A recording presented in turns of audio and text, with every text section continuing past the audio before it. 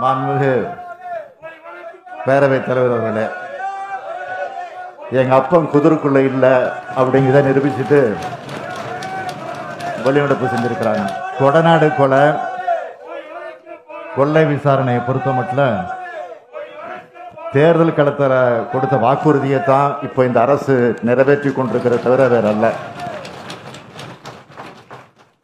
நள்ளிரவில் நடைபெற்ற அக்கொள்ளை சம்பவத்தில் அடுத்தடுத்து நடைபெற்றிருக்கக்கூடிய மரணங்கள் விபத்து மரணங்கள் போன்றவற்றை மக்களுக்கு அப்பவே சந்தேகத்தை ஏற்படுத்தியிருக்கு. அதனால தான் கொள்ளை கொலை வழக்கு விசாரிக்கப்பட்டு உண்மை குற்றவாளிகள் சட்டத்தின் முன்பு நிறுத்தப்படுவார்கள் என்று ஏற்கனவே தேர்தல் நேரத்தில் நாங்கள் வாக்குறுதி கொடுத்திருக்கிறோம்.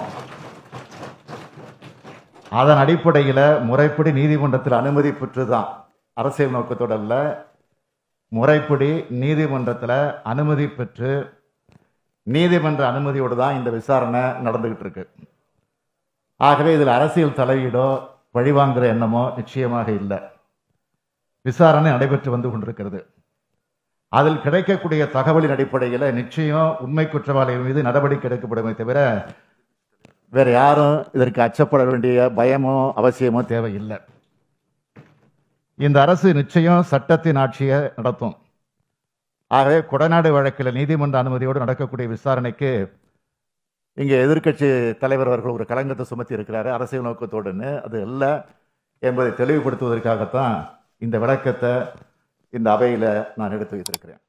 பாரதிய ஜனதா கட்சியின் தலைவர் திரு நயனா நாகேந்திரன் அவர்கள் ஒரு அச்சத்தை ஏற்படுத்தி இருக்குன்னு சொல்கிறாங்க மடியில் கனம் இருந்தால் தான் வழியில் பயம் இருக்கும். எனவே யாரும் பயப்பட வேண்டியதில்லை. அச்சப்பட வேண்டிய அவசியம் இல்லை.